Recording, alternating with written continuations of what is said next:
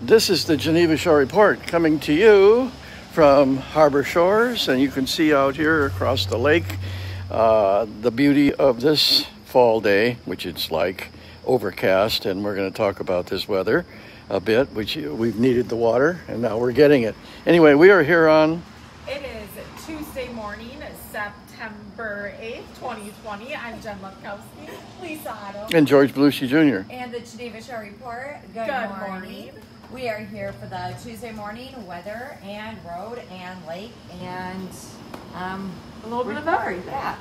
So, yeah, very rainy day. I'm standing right under the drip, so I'm going to scooch over. Okay. It'll help with social distancing.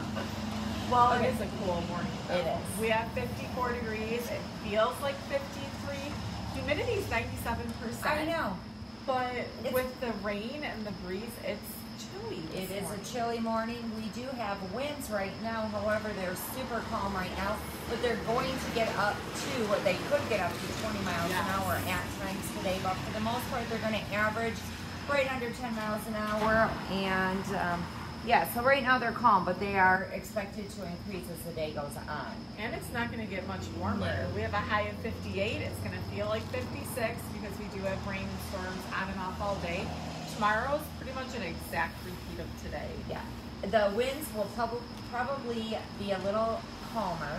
Hopefully. Hopefully. so. And the rain um, showers could be a little less than they are today. But right now, I, I'm surprised it's not raining, raining right now. So that's a good thing. Maybe we will have some more lulls in the rain today than we expected originally. I don't know. And we're going to get back into the 70s by the end of the week. Yes, we're gonna hit be then 60s, and then by the weekend, yes, we'll be back to 70s, and then 80s again next week. I know.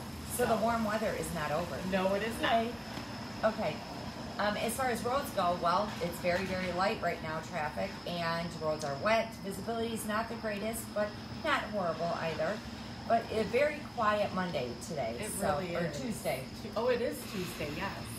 Um, but just take your time and be careful. And when the rain does come, make sure you're, you know, paying extra attention to the other drivers and the rain and the puddling along the roadways because that happens quite a bit here in Lake Geneva.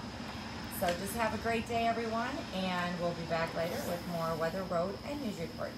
I'm Lisa Otto Jen Lepkowski. And George Belushi Jr. and the Geneva Shore Report. Bye bye. Bye.